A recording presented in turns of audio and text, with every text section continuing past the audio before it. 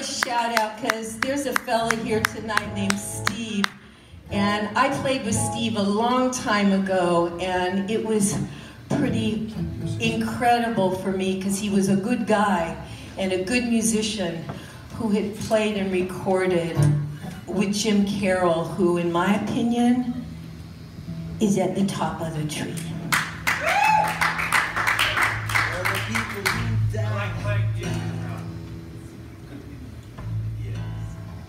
Okay, I think of this as our song.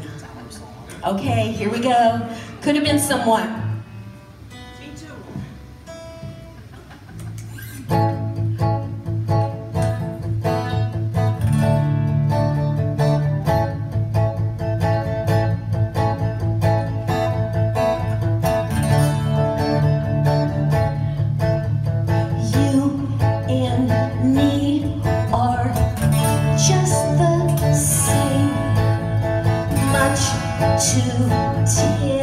Tender,